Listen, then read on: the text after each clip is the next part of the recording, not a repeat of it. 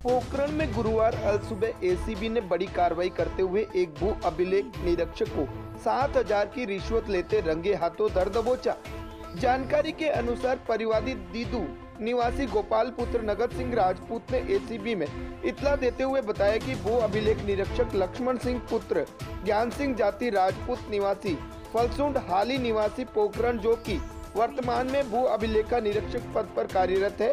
गोपाल सिंह ने बताया कि भू अभिलेख निरीक्षक द्वारा कृषि भूमि पर रहन करने के एवज में लक्ष्मण सिंह द्वारा आठ हज़ार रूपए की रिश्वत मांग ली, तथा रिश्वत देने के बाद कृषि भूमि रहन व बीमा क्लेम पास किया जाएगा, जिसको लेकर के परिवादी ने 14 सितंबर 2020 को एसीबी कार्यालय पहुंचकर परिवाद पेश किया। एसीबी ने 15 सितंबर 2020 को टीम गठित कर सत्यापन कराने के लिए पोखरण पहुँची, लेकिन लक्ष्मण सिंह भू अभिलेख निरीक्षक पंचायती राज चुनाव में व्यस्त होने के कारण नहीं मिल पाया। आज गुरुवार को अल सुबह एसीबी उप निरीक्षक अनिल कुमार पुरोहित के नेतृत्व में टीम गठित कर सत्यापन करना चाहा, जिस लेकिन भू अभिलेख निरीक्षक ने सात हज़ार अपने स्वयं के पास रखकर एक हज़ार वापस दे दिए।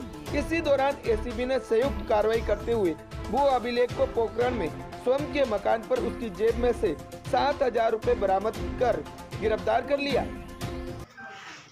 दिनांक चौदह सितंबर 2020 को परिवादी गोपाल सिंह है जो कि दुदू के रहने वाले हैं। उन्होंने एक रिपोर्ट कार्यालय में पेश की थी कि मेरे गिरदारी में और फ़सल बीमा के इलाज के लिए लक्ष्मण सिंह उपनिवेशक पटवारी है, अब आ रही है सत्याया।